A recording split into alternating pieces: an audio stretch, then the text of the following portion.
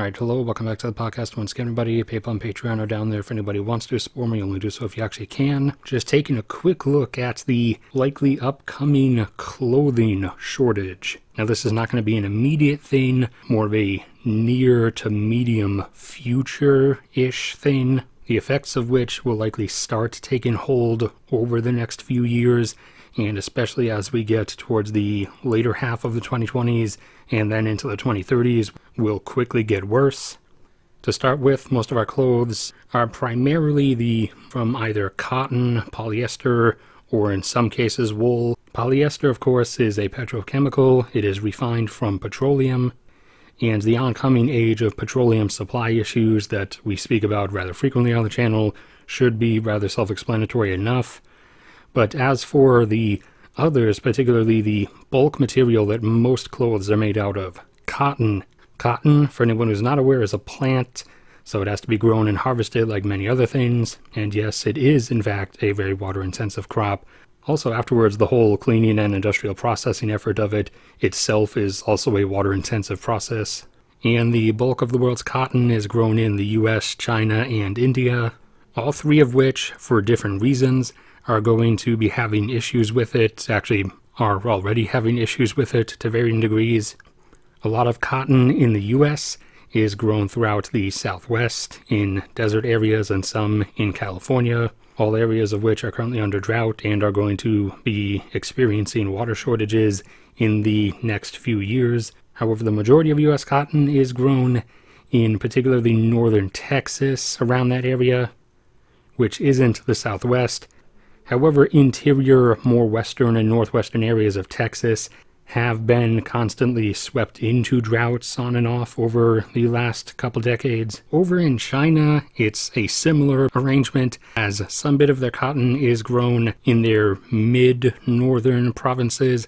However, the majority of their cotton is grown over in Xinjiang, aka East Turkestan, which is, just like the US Southwest, a desert. However, then we have to stack on China's water issues, as China's about the size of the US.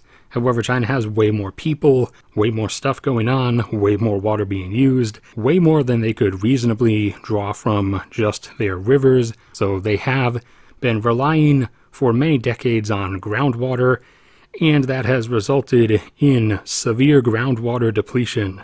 The worst hit portions being their north and northeast, as well as Xinjiang, India, where large amounts of the world's cotton are grown, and where, similar to China except worse, groundwater depletion is already reaching severe points and has begun causing a pickup in internal migration. And on top of just the groundwater depletion itself, India is also, along with Pakistan, in the middle of a massive drought.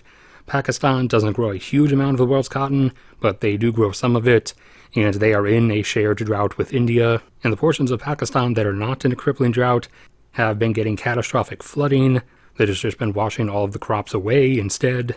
But, anyways, India is under a massive drought, and multiple times just this year has been thrown into literally crop killing heat waves, with many regions of India reaching and staying for multiple days at temperatures in excess of 50 degrees Celsius or 120 degrees Fahrenheit.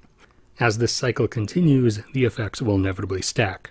And then, on top of just that, as you have this quickly growing situation of reduced viable crop areas, you're going to see countries making the choice to keep that area specifically for their own food production. And on the final bit of the material supply angle, at least, the one other of the three things I mentioned being wool, switching over to wool wouldn't really be a viable supply alternative because wool comes from sheep and sheep are animals and they have to be raised and they have to be fed and that you know takes a lot of land to grow their food and that itself takes up a bunch of water. So replacing cotton with wool would actually be even more water intensive. Now on the actual production of the clothing itself clothing and apparel production worldwide is concentrated in a few specific countries in two concentrated spots, one being just south of Mexico in Central America, in Guatemala, El Salvador, and Honduras, and the other over in Asia, in India, Bangladesh, Vietnam, and China. And while the actual manufacturing and production in the Central American group should be safe for the most part. It's over in Asia where the problems are likely going to arise. Vietnam should be fine for the most part. However, India, Bangladesh, and China are going to inevitably be an issue. China, regardless of any insistences to the contrary, is starting to buckle a bit. And as with many things, a lot sooner than I thought it was going to happen. I I didn't think they were going to start cracking until after going for Taiwan and failing. However, it looks like citizen discontent inside of China, China internally is starting to not be able to maintain the totalitarian stability image that they previously were. So China, to likely the surprise of many, is actually going to end up becoming a supply risk, and not just because of that, but while the CCP does still have everything under their control, Xi Jinping has made it clear that they are sticking with the mega, giga, ultra, super COVID home imprisonment lockdown system, which means any city, any region, and thus whatever is made in it could just instantly be taken offline for months at a time on a whim.